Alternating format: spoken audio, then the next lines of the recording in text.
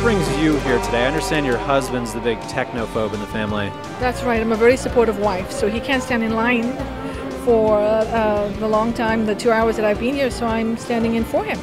So you're here for moral support and also as a line holder, a placeholder in line? Absolutely, and of course I stand to benefit later on because I'll end up having one of the new iPhones. So are you getting paid for this or are you just getting a free iPhone? Uh, I guess my payment is the free iPhone. okay. So you were telling me earlier about some of your entrepreneurial pursuits and passions and you have these ideas for starting businesses. Tell us and our audience a little bit about that. Yeah, I've had several ideas over the years. I mean, when I was in high school, um, which is many, many years ago, 20 years plus, I actually had an idea that um, I wanted to do shopping, grocery shopping for people who didn't have the time to do it. And of course, I put the idea out there, but I think I was way ahead of everybody else and I put the idea out there. But um, um, I've had uh, several ideas, handbags as well, and uh, kind of having an organizer kind of thing.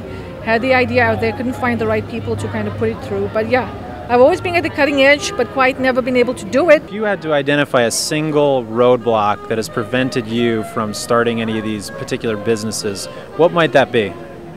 That I've just been ahead. Um, I've just been ahead of the generation coming up with ideas, and so people were not really willing to listen, or I didn't catch on enough, um, or there was not enough hype. I couldn't um, uh, create the hype for it, or make people see uh, how uh, popular the idea would be. Here's a question that many entrepreneur, especially brand new entrepreneurs, fall into this pitfall of not having a business plan. Through pursuing your entrepreneurial ideas here, did you ever have a business plan?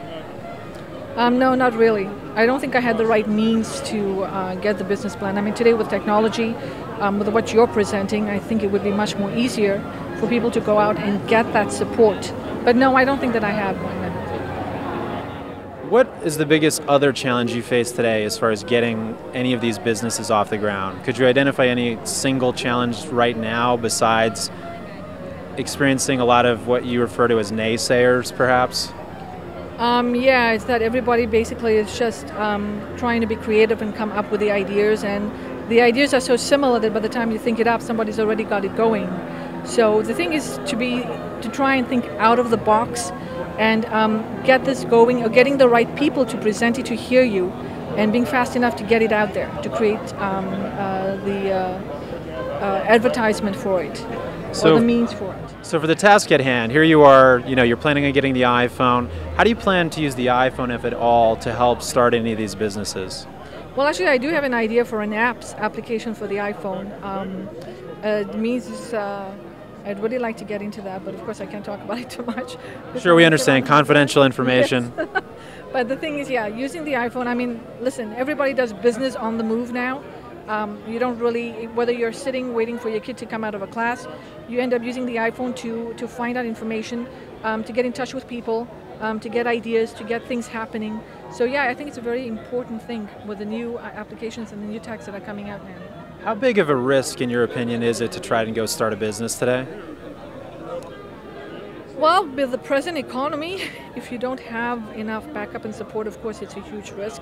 But I think if you have the right people, if you get in touch with them, and if they can provide that opportunity, there's um, um, just getting in touch with like somebody like um, like your business. I think that could definitely provide some solid backup for getting your ideas out there or starting up a business. We always appreciate those free plugs. Thank you. Oh no, uh, you're welcome. any uh, thoughts, advice you would give to someone in your shoes potentially that's thinking about starting a business today? Any things you've learned that they could benefit from? Yeah, it's that if you want to start a business, you've got to put everything else aside and focus on it and get it moving as soon as possible. Because um, with the new technology that's out there, like you know the new phone that's coming out right now, um, you need to actually put everything else aside, focus on what you need to do, and just go out there and get it.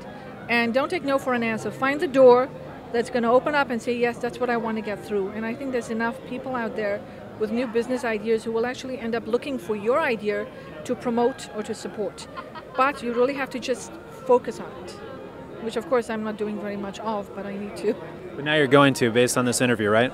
Oh, I sure hope so. I've got your card, so I know where to call.